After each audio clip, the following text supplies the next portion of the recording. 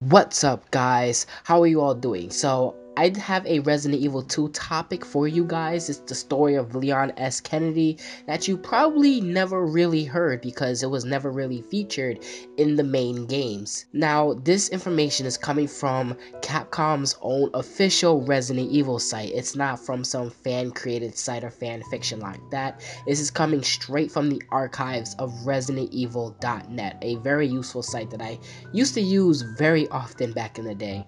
But in this site, you can actually see certain archives of characters and creatures like that. And going to Leon's story, it's a very interesting article.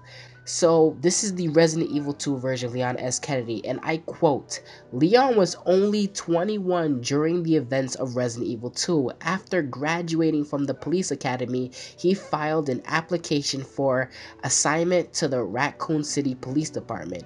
He was able to avoid the fate of his new colleagues by pure chance after showing up late to work on the first day. So, so far, this is everything we already knew about the character. However, things take a very depressing twist. It then goes on to say, the previous evening, he had drunk himself unconscious in a motel in despair over the recent breakup of his girlfriend. The anecdote is at odds with his current cool image and can probably be attributed to the recklessness of his youth.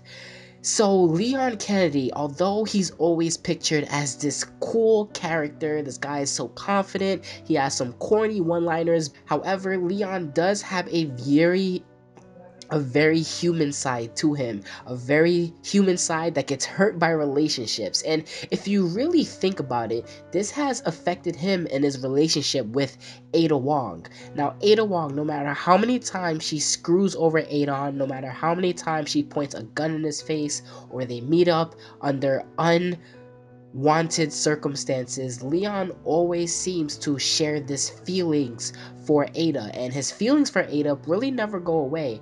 I wonder if this stems from this breakup with his girlfriend. The fact that he's never able to let Ada go, despite all she's done to him, but despite all the time she's separated from him.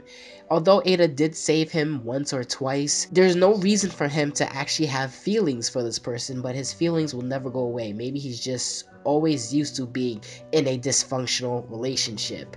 Stay here for more information on Resident Evil 2 Remake as it comes out in more of these topic videos. I'm gonna be out of here. Thank you guys for listening. Deuces. Leon, please, escape. No. We're a team. I can't just leave you behind. I'm just a woman who fell in love with you. Nothing more.